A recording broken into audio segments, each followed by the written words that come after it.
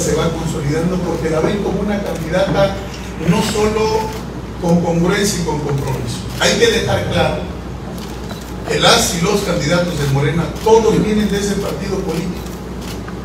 Ustedes analizan de dónde viene la candidata Laura Fernández, viene de una coalición con Morena. ¿De dónde viene Nivaldo Mena? Venía de un PT. ¿De dónde es la candidata de Morena? De Morena Verde y un partido político que tiene registro local. Entonces, la única candidata que verdaderamente es un contrapeso para lo que está haciendo Morena es Leslie Hendrix. Eso es lo que convocamos a los ciudadanos a reflexionar. Los otros tres candidatos son lo mismo.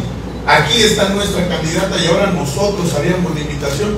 Yo creo que si lo importante es ganar Quintana Roo, yo creo que la candidata del PAN y del PRD y sus aliados se debería de sumar a la campaña de Lenny Hendrix para tener una mujer fresca, sólida, limpia, con trayectoria, que puede ganarse la confianza de los ciudadanos. Así que nosotros seguiremos caminando, eh, la invitación está abierta, podemos construir un gobierno de coalición que encabece Lenny Hendrix, los invitamos a participar, invitamos a los ciudadanos, esa es la invitación que les haríamos, pero Lenny sigue firme hasta el final, vamos a trabajar juntos y vamos a ganar esta elección.